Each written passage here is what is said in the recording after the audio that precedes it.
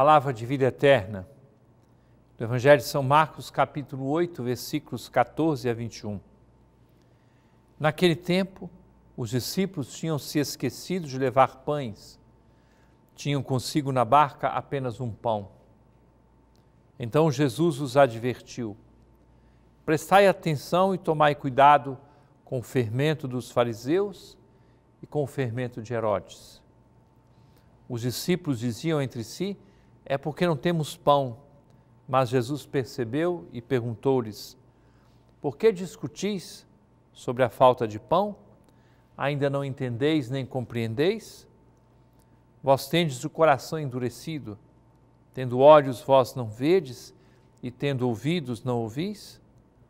Não vos lembrais de quando reparti cinco pães para cinco mil pessoas?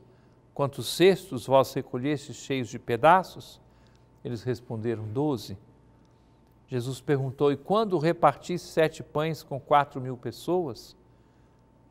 Quantos cestos vós recolhestes cheios de pedaços? Eles responderam: Sete. Jesus disse: E vós ainda não compreendeis? Meu querido irmão, querida irmã,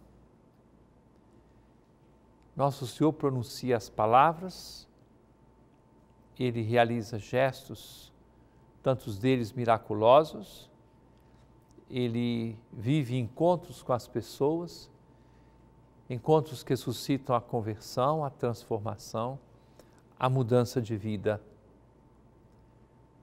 Mas nem sempre as palavras são bem entendidas.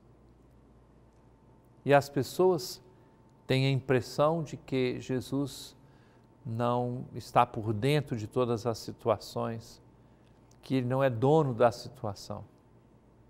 Nós sabemos que ele é o primeiro e o último, o princípio e o fim.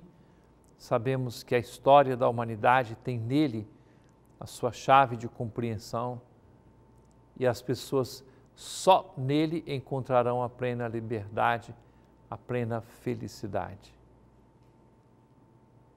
Daí, uma forma de viver essa palavra é pedir sinceramente ao Senhor que os nossos corações não sejam endurecidos. Pedir que a Sua palavra, com a ação do Espírito Santo que age em nós, a Sua palavra amoleça estes nossos corações e nos dê a graça de acolher por inteiro, com retidão, com abertura de alma, a palavra de nosso Senhor. Viver a palavra hoje é abrir-se para esta graça, é abrir-se para este mistério de revelação do próprio Deus em nossas vidas. É palavra de vida eterna